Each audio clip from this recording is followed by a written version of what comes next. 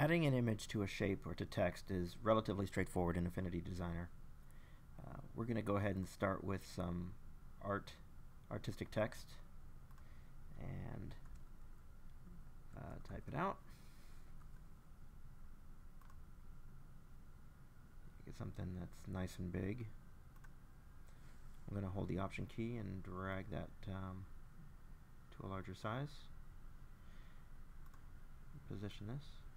Uh, there's no reason to convert this to curves because this will work just fine for uh, text. And again, this should work also for your uh, standard shapes here.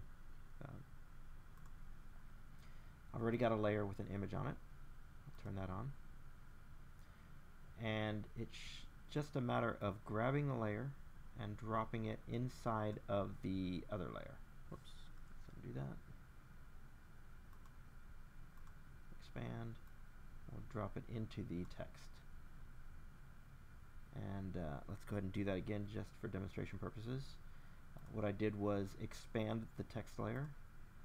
You can see the actual text layer inside there.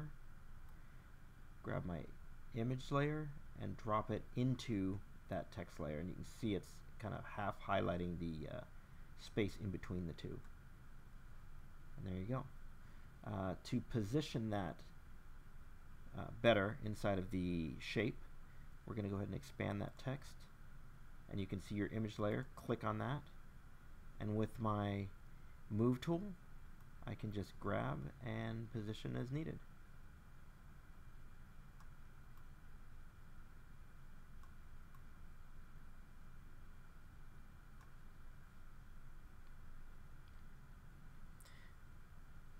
If you have suggestions for other tutorials, please leave a comment below.